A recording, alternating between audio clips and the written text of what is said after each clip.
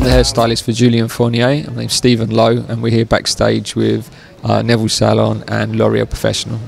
What we're doing this season is we wanted something quite young. So what we've done is we've gone for this sort of basically it's like a girl. She's just sort of come out of the shower.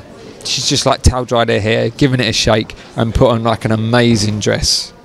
So it's keeping it really sort of natural, really young, and really fresh.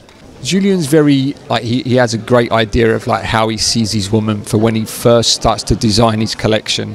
So he pictures his woman in his mind before he actually starts designing the collection. And I think that's what he wanted to do is bring that sort of young, that freshness into couture and, you know, keeping it effortless. But then, you know, these women's wearing these amazing outfits.